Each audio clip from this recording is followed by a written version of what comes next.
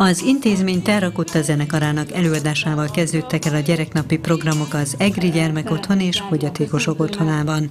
Míg Józsefné igazgató úgy fogalmazott, az év egyik kiemelt eseménye a gyereknapi ünnepség, amelyre mindig nagyon készülnek a fiatalok.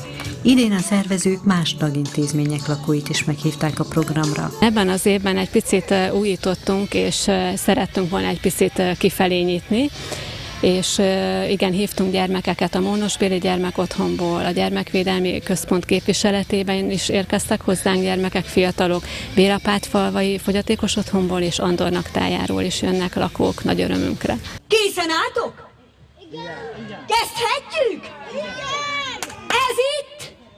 Geppetto háza. A gyerekeket többek között színházi előadás, koncert, rendőrségi bemutató, kisvonatozás, állatsimogatás és póni lovaglás is várta.